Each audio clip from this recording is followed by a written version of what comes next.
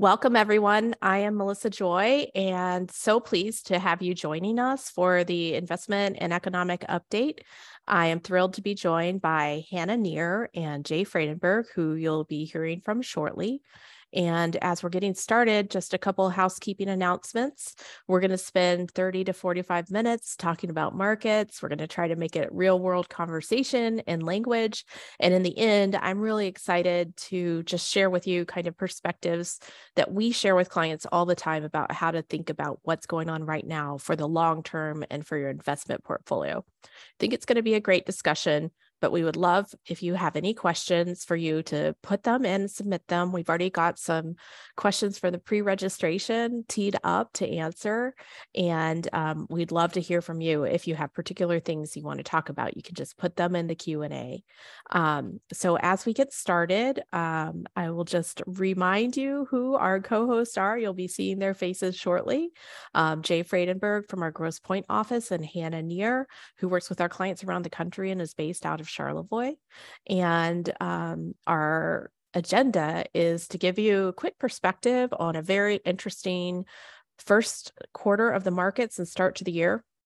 We're going to be talking economy. What would um, a recent economic discussion be without talking about inflation? And then we're going to talk about how that has impacted stock and bond returns. Um, so Hannah will take over the economy, and then Jay's going to talk about markets and investing. And then I will wrap it up with where to go from here.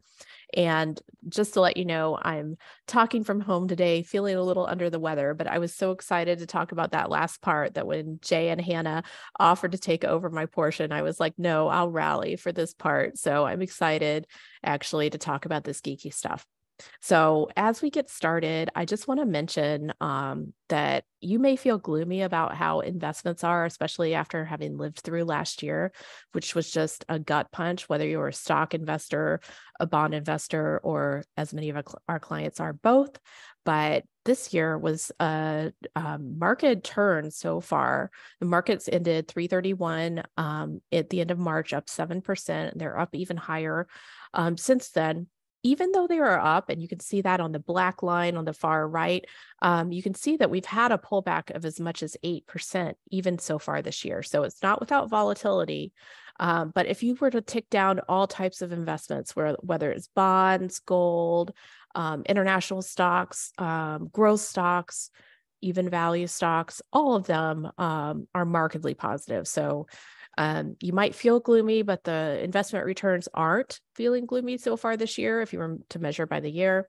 And I think that is a good context for us to hand it off to Hannah. Let's talk economy, Hannah. Okay. Thank you so much, Melissa. Um, so, as Melissa mentioned, I am going to talk a little bit about the general state of the economy, as well as touch on inflation and the Fed's reaction to inflation. Um, so as Melissa kind of showed on that chart, um, you probably remember last year, early last year, we were kind of experiencing those market record highs. Um, and since then, of course, we've seen rough periods for both the stock and the bond market. Um, the Fed basically went from not even considering raising interest rates to raising at the fastest pace in almost four decades.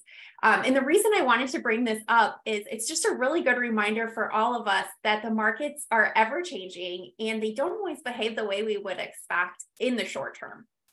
So, that being said, historically, um, bear market declines on average have lasted about 16 months. Um, we are currently at the 15 month mark um, for the current bear market. So, we're essentially hitting the average as of right now. And similarly, if we look at the historic length of a Fed tightening cycle, they've lasted about 13 months. Bond markets, on the other hand, have historically seen average declines lasting about three months.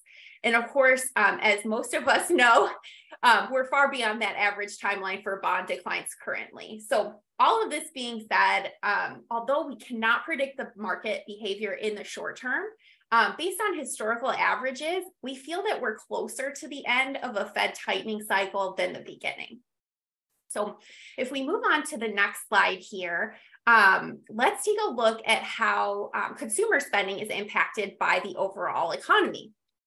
So in this first chart, um, we can see that overall consumer goods spending has continued to decelerate since um, the beginning of 2022, or that market peak that we talked about happening very early last year.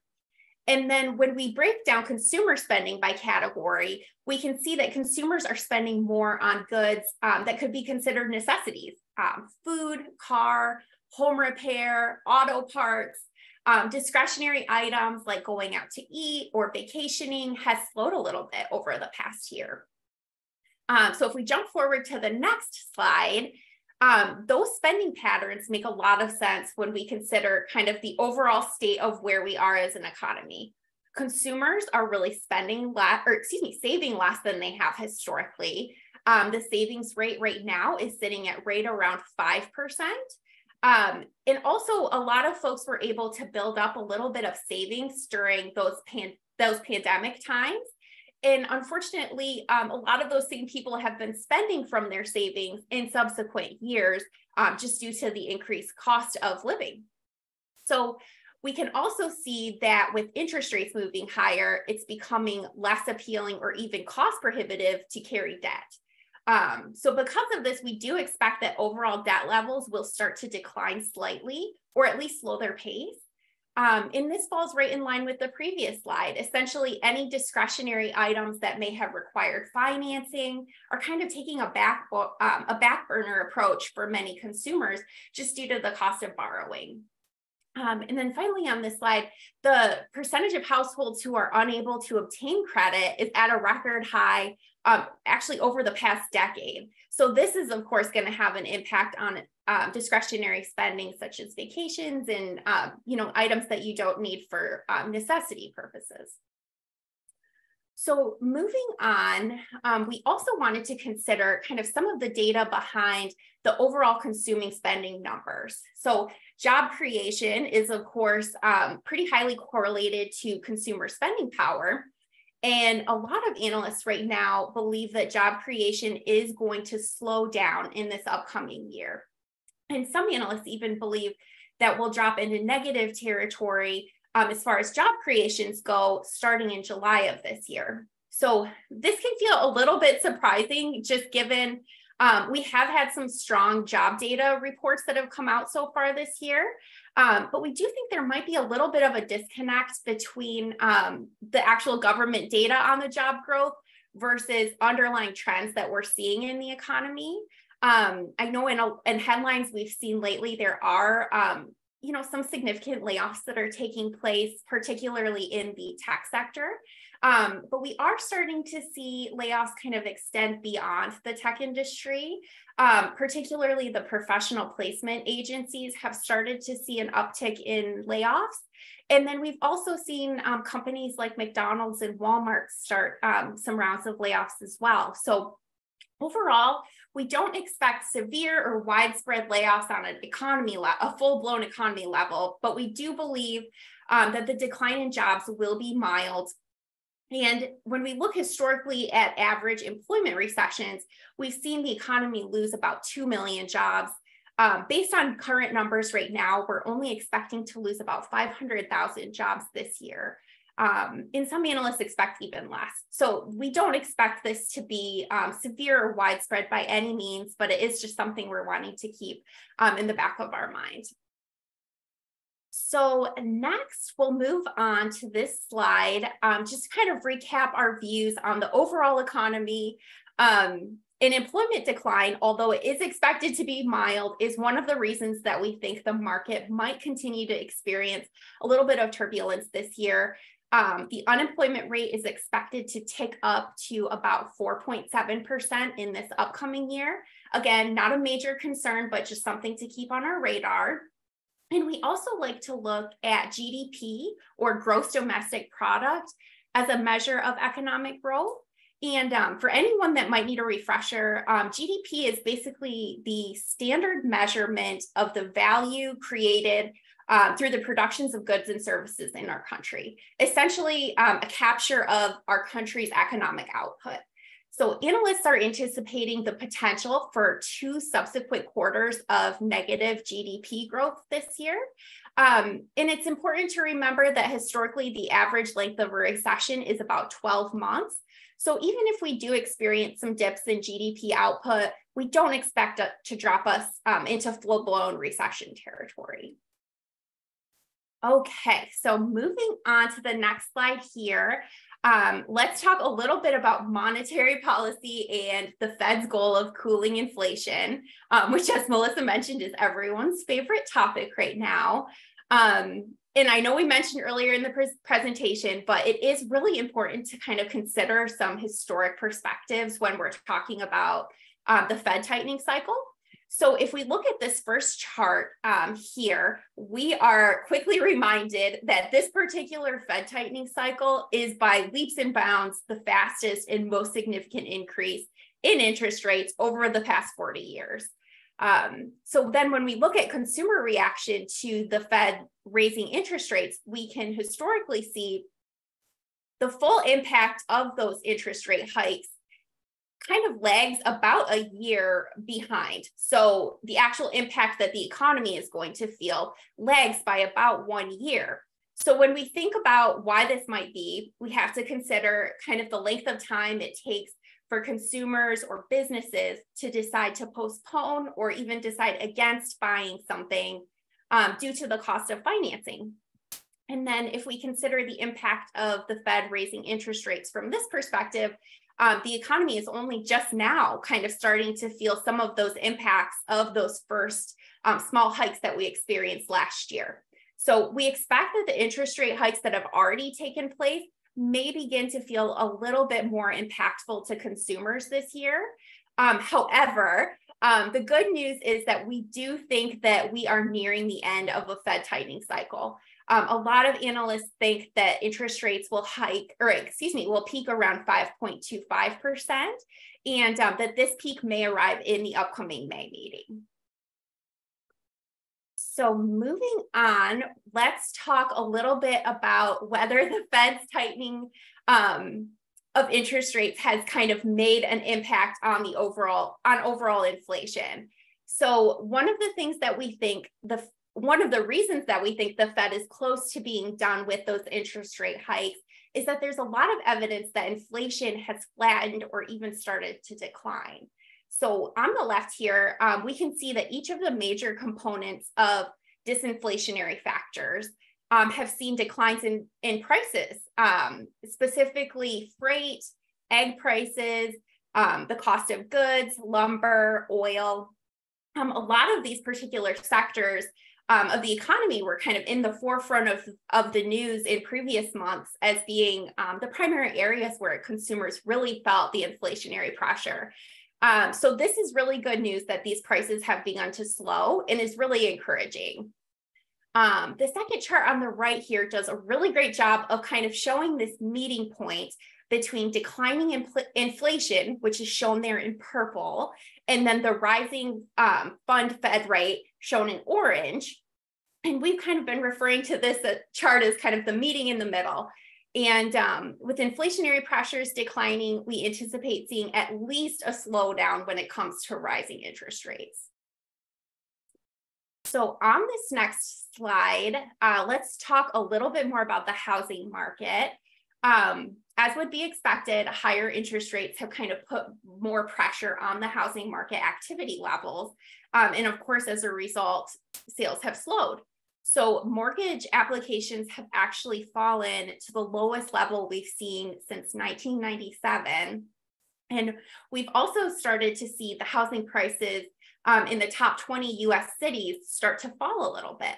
So um, all of that is disclaimed by saying, um, although the national average of home prices is down from its peak by about 5.1%, prices are actually still up year over year in 16 of those top 20 cities. Um, and then this chart on the right shows us home prices throughout the year for each of the last four years. And um, while housing prices may be down again you know, from the record high last June, they are still higher than they were this time last year. And even more importantly than that, um, they're 37% higher than they were in 2020, just prior to the pandemic. So, whether you've been shopping the housing market or you're just kind of tracking the value of your own home, um, I think most of us have definitely felt this increase in home prices over, you know, the past three years or so. Um, so, the small decline in housing is by no means a crash, um, but we would consider it to be kind of a softening, so to speak. Um, and we do not expect significant declines to continue to unfold, um, assuming the Fed does not over tighten.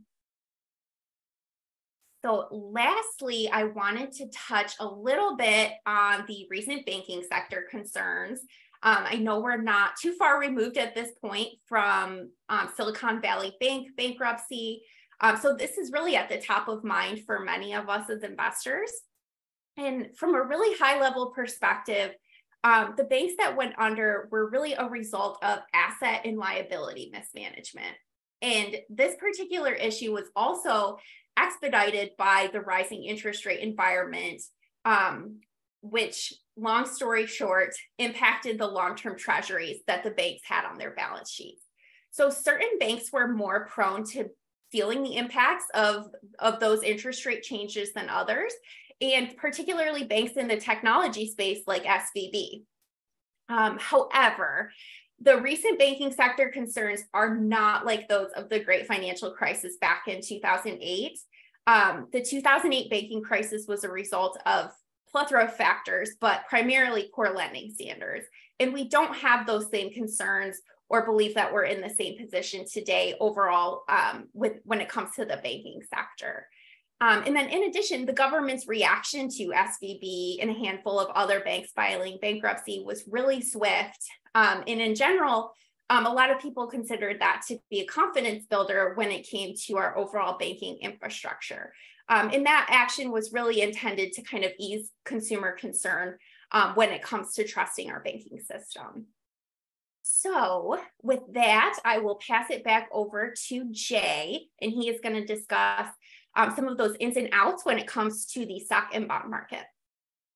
Uh, thank you very much, Hannah. Great, great job as always. Um, as as Hannah said, I, am going to talk about the bond market and the stock market. I'm going to do a uh, a brief review of where we where where we've come from, and, and then more importantly, we're I'm going to talk about what we see and how we think the uh, the bond and the stock market is going to proceed moving forward. So let's jump right in with the uh, with the bond market. What we're looking at here is the uh, the Bloomberg. It's an index that tracks the bond market going back to 1976. Uh, hopefully, what jumps out uh, uh, from this chart is that you know over 47 years, 42 of the years have produced positive returns for the bond market. Um, what what may be a little bit more subtle is the, uh, but but nonetheless incredibly important, is that in each and every year, um, represented by the uh, by the red uh, dots, is that in each and every year, at some point during the year, uh, the bond market was negative. I think equally, or maybe more important, is that in each of the years following a uh, negative performance year, the bond market has produced significantly positive returns. Um, so Hannah did a great job talking about um, inflation and the Fed's reaction to that, and um, and then the stock. Uh, I'm sorry, the bond market last year was down 13 percent. And true to form, this is early, but what we're seeing on the very far side of this, uh, far right side of this chart, is the bond market already starting to recover? So let's dig a little deeper into that with the next slide. Um, what we're looking at here is, is high quality bonds. We're, we're looking at municipal debt, investment grade debt, and, um, and emerging market debt.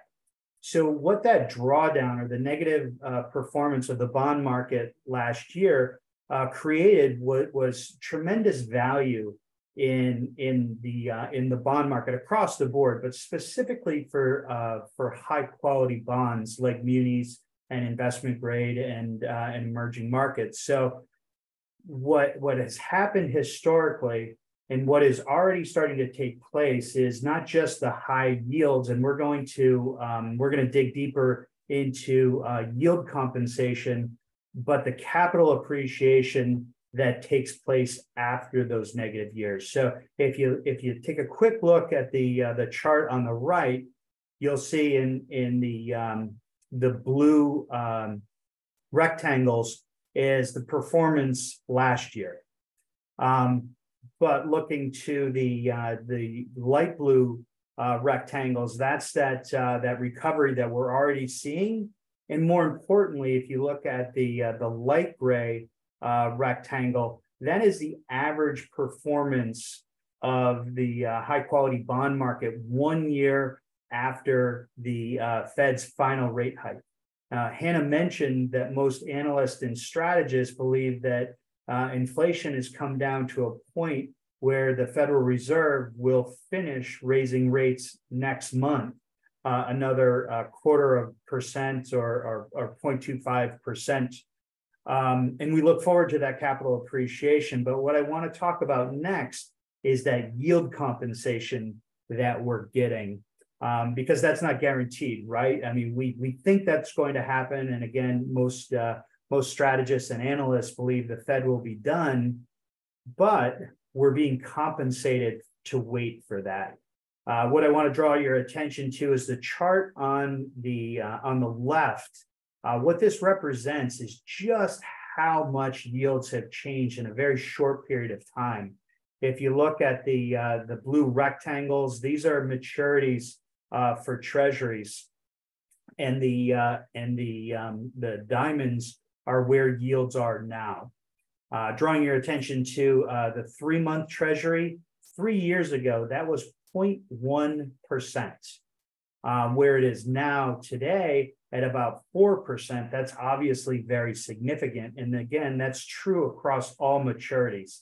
You look at the 10 year treasury, three years ago, that was 0.7%. And today it's about 3.6%. So we're looking forward to getting that capital appreciation once the Federal Reserve is done raising rates, but we're being compensated uh, to own bonds uh, now and uh, look forward to that, that, that capital appreciation. One final point I want to make on this is that it's not just over the last three years, it's been over the last 10 years. If you look at the chart on the right, uh, the current yields are in the middle of that. I mentioned the 10 year treasury at 3.6%. 95% of the time over the last 10 years, that's been higher than the average of 2.2%. Now, Melissa said that we're not going to talk jargon, but I, I, I will mention uh, an acronym that you may have heard. I mention it only because we'll, we'll never have to hear it again, or at least for, for a long time. It's TINA, uh, and that stands for there is no uh, no other alternative, and that referred to the very low yields that we were receiving in bonds. Well, that is no longer the case. Bonds are uh, um, compensating us to own them now, and we look forward to that capital appreciation when the Fed is finally done raising rates. So I'm going to shift to uh, the stock market. Um, we're looking at the S&P 500 index as a proxy for the, uh, the US stock market. What I want to point out, maybe it's clear, but uh, the cycles are uh, short and severe bear markets, followed by long appreciation in bull markets. We can see that um, the, the current bear market, um, as we all know, last year uh, more than likely, what I, what I want to get to, and we we certainly do not try to time or ever advocate for uh, for timing markets, but we look at fundamentals and probability to inform, uh, inform us and give us confidence that more than likely the next bull market has already started. So we're going to get into some of these uh, probabilities and fundamentals. If uh, next slide, please. Um, first of all, following peak inflation, um, if you look at the chart on the left-hand side, historically, the market has rallied, the stock market has rallied for 18 months following peak inflation. And if you remember, uh, inflation peaked last June at 9%. So we're about halfway through that rally. I think more importantly um, is the probability. The probability is 80% of the time following peak inflation, uh, the stock market has been positive 12 months afterwards. And then one last thing about uh, valuations. Um, peak inflation was followed by uh, peak yields. Uh, the yield on the four, on the 10-year treasury was 4%. And as I said, that's now down to 3.6%. What lower yields allow the stock market to do is expand in valuation. We, we uh, measure valuation by price earnings multiple. So that decline in yields have allowed the stock market to expand in terms of their valuations. Melissa alluded to this. Uh, the S&P 500 is up year to date 8%. So we'll uh, just finish this up by, again, probabilities and, um, and fundamentals. I mentioned that most uh, strategists and analysts, and we agree that the Federal Reserve will most likely be done raising rates next month. Historically, after that final rate hike, 12 months later, the S&P 500, the US stock market is up on average 14.5%, 75% of the time. The last thing I want to point out is that's not just one sector of the US stock market uh, leading the way. It's a very broad based rally. Every sector within the US stock market participates in these rallies, and we're seeing that true to form so far this year. Um, so, what I want to talk about now is trends. And once more, we do not advocate for for um, timing the market. We run or manage diversified portfolios but what we're looking at here, and I think it's very important and sometimes uh, underappreciated, is uh, leadership between the uh, international stock markets and the US stock markets. Um, going back to 1971, it had been the case that about every four years or so, leadership or that trend would reverse. Uh, internationals would lead the US, Four years later, the US would lead internationals. But that trend of four years of leadership ended in 2008. And as you can see, from 2008 until last year, the US stock market absolutely dominated international uh, stock markets. Now, we're not sure if that trend has completely reversed, but for the last year and a half, international stocks have actually led uh, U.S. stocks. Now, there's a there's a host of reasons, but four factors are the main reasons for this. Is one, uh, if we can go back, thanks, Melissa. um, prior to uh, 2008, or I should say, starting in 2008, we had very low inflation up until last year we had very low rates. In the United States, they were close to zero. In Europe, they were negative.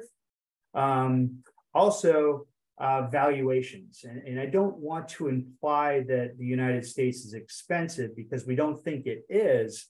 But because of that four, 14 year dominance of the US stock market versus international stocks, we believe that international stocks are very inexpensive or very fairly val- or very inexpensive. And the last thing uh, is that uh, the compositions of the two markets, the US stock market has a lot of technology in it, whereas the international uh, stock market has more economically sensitive uh, sectors like financials and energy, industrials.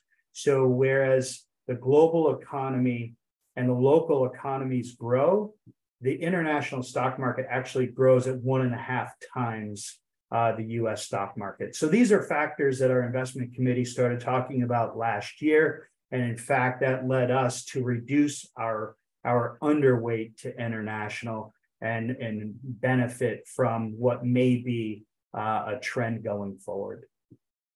So I want to finish my presentation or my part of the presentation with two of my favorite slides. Uh, you, you may have seen what we refer to as a mountain chart like this in the past. Um, what I want to point out, and, I, you certainly don't need me to tell you this in terms of the volatility that the U.S. stock market or the S&P 500 has experienced over the last 20 years. But what I do want to point out is that volatility is not anything new. Um, you know, if we look at the tech bubble or the the, the re- Great Recession or uh, COVID or or the last bear market, they look pretty dramatic. But when you look at Black Monday or the oil crisis, Vietnam post WW post World War II, is the numbers are similar or actually larger. What you what's harder to tell by this chart is that the size of the US stock market is actually 100 times the size of what it was in the 1950s. And that's why that same volatility of those previous four bear markets look like bumps in the road. And that's why I'm excited to show you this next chart, because what we do here is we extrapolate the performance of the US stock market over the last 50 years at 7.4% to the next 50 years. And we are very confident um, that the US stock market will continue to grow like that. Now, the path might not be 7.5% per year, but in 50 years from now, the size of the US stock market will be 150, uh, 150,000, not 4,100. So what it does is it makes those last four bear markets look like the preceding four bear markets where they're really just bumps in the road. So investors that can maintain that long-term focus based on their long-term goals and objectives will benefit from the natural growth of the US stock market and the compounding effects will be certainly more than that 7.4%. So I hope that was useful. Thanks you. Thank you for your uh, time and attention. And Melissa, I will turn it over to you. Thanks, Jay. Um, I love that perspective because short term can feel like such a bumpy ride when it comes to stocks. And over time, um, longer term, there's more consistency when it comes to returns. Just like you were talking about, Jay, this is a look at um, any given one year, looking back over the last 72 years, you can have a huge range of returns, whether you're invested in stocks in green, bonds in blue, or half and half um, in gray. When you continue to invest, and it's important, this is your decision. This is where we come in and your your behavior and choices come in. When you continue to invest, if you don't kind of bail out on the market in those worst cases, then you get more consistency of returns. The range of returns comes becomes more positive and over 10 and 20 years um, you have huge consistency of making money as you invest in both stocks or bonds or diversified portfolios. A couple lessons i want to remind you of that we've been talking to clients about over the years.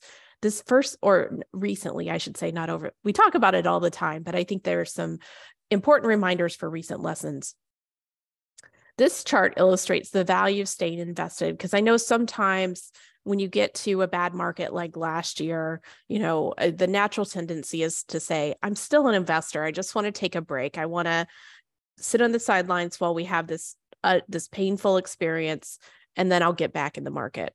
So if you look at the lines here, all the lines are on top of each other. This is illustrating 2008 and 2009.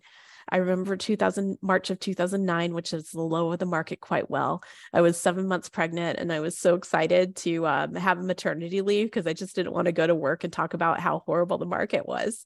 It was really painful time to be an investor.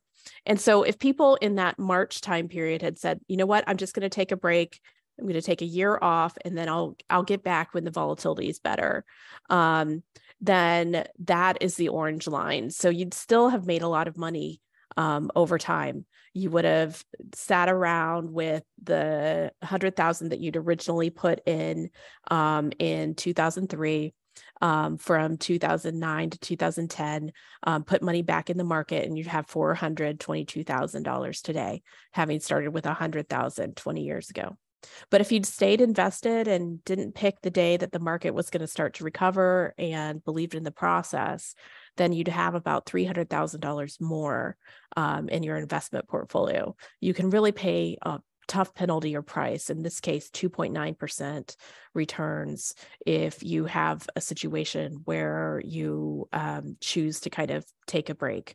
Um, and so I wanted to explain that in an up market um, because it's important reminder that investing is for the long period of time and it's kind of the agreement that we kind of try to encourage with clients is that you will stay invested and continue to be an investor. You know the same lesson can be told from 2020 this is the same illustration but using um, the covid downfall or um, covid in, in 2020 just saying you moved to cash only for a month um, when we had uh, the beginning of the coronavirus again in March. What what is up with March and and historic market times? Um, but again, that would make a difference in terms of what the money you had in your portfolio today by about $60,000. So we'd like to give these lessons and make them evergreen because they're important reminders, not just when we're having a horrible day in the market. Um, some other important lessons that I think that are always important for reminders, and um, it, we just have a quick little video segment here but you can really feel like you're on a roller coaster when you're an investor. And fortunately, in the modern times, we have emojis to illustrate how we're feeling because that's how often how we communicate nowadays. Um, but I have a feeling that most people are feeling, you know, a little bit closer to that like anger, puke, prayer kind of emoji um, than a really happy emoji today. And the reality is that we go through this cycle of emotional pain as investors if we're really tied to the performance of our portfolios from day to day. Um, and the successful investor doesn't let that emotion be played out in their portfolios. They make the decision to stick with the process, think long term, continue to be invested. And whether you're feeling that sweat um, and pain and, or highs and elation um, at market peaks, or not, if you can, as a successful investor, keep a straight face or a poker face when it comes to your investing portfolio, that's really a secret sauce to being successful as an investor over time. So take a minute to see where you're feeling as an investor. I know it can feel very uncertain. But when we're talking about years and decades, um, then we have a lot more confidence in the probability. So, you know, an important reminder when it comes to markets is um, you know, we always kind of jump to the worst case scenario when things are happening. And it's really easy. We're in spring. We just had a beautiful 80 degree weekend here in Michigan. Um, but it's really easy to feel the doom and gloom. And if you look at this cartoon on the left, you can see someone who is in a beautiful day, but looking at, you know, bad weather on the news or perhaps bad markets and really feeling the pain dressed for just horrible weather. And I think it's so important to remind people, hey, you just went through a really great quarter in the markets. I know you may not feel that way. You may turn on the news and feel like you just, you know, want to give up when it comes to investing. But time and again, investing is an exercise of optimism over pessimism, of growth and possibility, which isn't always easily seen. And don't be like the chart on the right where you're deciding, you know, when to start being an investor and thinking, oh, today is not the day because it's too high, or today is not the day because things have gone down, or I'll just wait for that next pullback. That can be re- really be de- decision fatigue. And we encourage you to think long term, use the advice of a financial planner to, like us to really um, have that forward thinking look, um, optimism and looking, um, which can really help with your long term financial results. So um, I don't see any questions yet. So I'm challenging everyone that's listening um, to plug in some questions, but we're going to go over some pre questions that we received um, in just a moment. But quick plug um, I am a contributor to a book called More Than Money, um, which was published last month. And if anybody wants to receive that that's on um, this call, just send me an email at melissa at pearlplan.com and I'll be happy to send you a copy. Send me your address as well. Um, but it was a really fun um, collaboration with a group called the Advisor Growth Community, where we all wrote chapters about what it's like to be in financial planning and investing.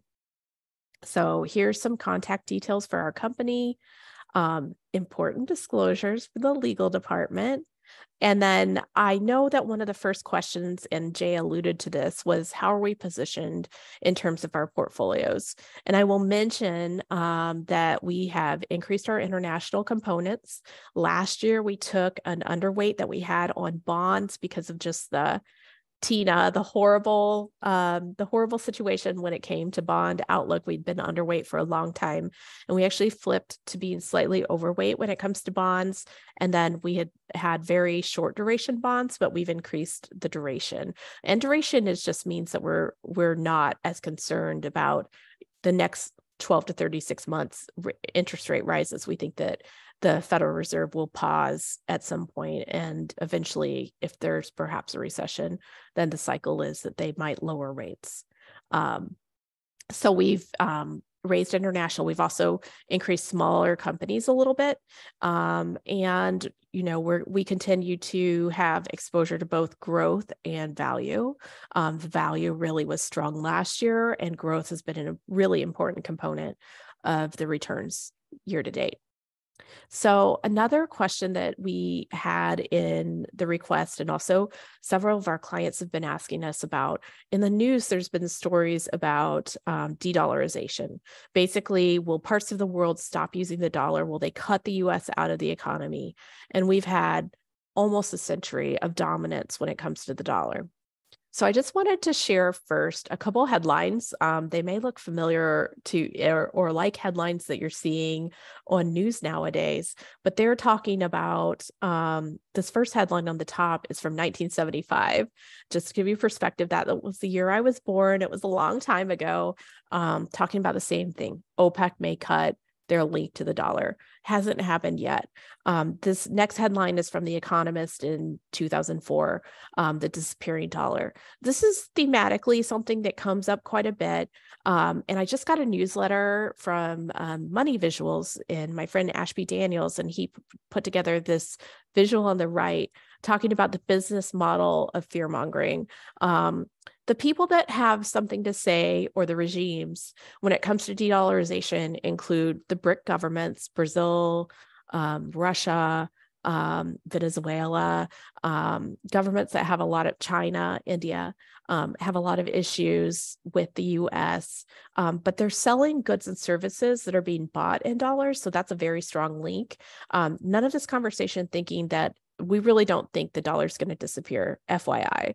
Um, but a lot of these conversations um, are are related to um, also people that want you to convert to digital currencies like Bitcoin as well. So there's there are some, and then you know if it's the media, if you're watching a show fear leads to ratings um, and so that's part of the conversation as well jay i as you cough i see um, did you want to add anything to that dollar conversation Sure. I, I, mean, I think you did a great job, Melissa, and it, it, and it is so true. Whether it's uh, the media selling consumer products and, and trying to benefit from that that that fear component of what sells, um, whether it's the the cryptocurrency world that's that's trying to convert, or uh, most notably, um, the emerging markets and and and just as you said, I mean, I think these are great visuals that this is this is not a new conversation. It tends to happen over and over again. Uh, what I wanted to add is um, just some perspective in terms of the size. The uh, the 30 year average for uh, the dollar being the the world currency is uh, 50%. in 30 years, it's been as high as 70%. Right now, it's 60%. So, in order for this to take place, uh, I mean, the whole world market and the whole world economy would would, would have to undergo a huge dramatic change. And to that change, it just again a little bit of perspective, the, the Chinese currency is 3% of the world currency. So compared to 60%, I mean, so much would have to change.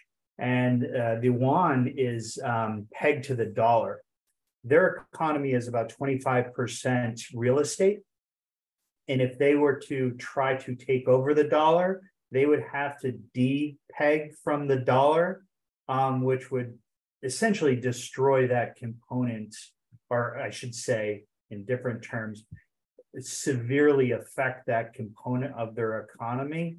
So, um, this talk that is nothing new, uh, there is, I shouldn't say no chance, but certainly not anytime soon that the US dollar um, will not be the world currency. I mean, you have competing problematic currencies as well that are in the developed trusted currencies um, of the euro and the yen as well. And um, if there's any kind of market share being taken, they're probably coming, the, at least statistically, measurably coming from them. That's not to say that debt isn't like there, there's no pain or payment for having huge amounts of debt. Um, and in fact, I think one of the things we'll have to be discussing on our next call is the debt ceiling because there is um, a very high probability that Washington, D.C. needs to create a crisis in order to kick the can down the road when it comes to the debt ceiling. So, you know, it's likely that there's a solution for that in terms of not having government shut down. Um, but it at least recent history has required basically a standoff when it comes to Washington D.C. and where that is going to have to happen in the next 60 to 90 days. We know McCarthy, the House Speaker, has presented a potential deal that would um, have a debt ceiling kind of work itself out until the election um, in 2024. Um, we'll see if that comes to be, but you know, there's not a lot of spirit of cooperation when it comes to um, the capital. So, you know, we do anticipate there's always going to be, there's always a reason to have that rainy forecast when it comes to looking at markets. But there's also you know markets price in things well in advance of you seeing them on the news. Um, and that's what we see from last year. There's a lot of negativity priced in and when there's more optimistic things happening you get returns like you did this year so, you guys have all stuck with us. Thank you so much. There's going to be a recording of this um, that we'll have in our next newsletter and send to anyone who um, signed up for the call and we'll also it's going to be available on YouTube. So we always encourage you to check out what we have to say. Be in touch if you'd like to have your questions answered individually and we appreciate everybody that everyone who's listened in. If you have topics that you would like us to be discussing on future webinars, we'd love to hear that as well. And so thanks for joining us on this spring afternoon. We'll see you this summer for an additional economic update. Great job Jay and Hannah and many thanks to Melissa Fradenburg who who put together the presentation as well. So um, thanks from us and have a great day.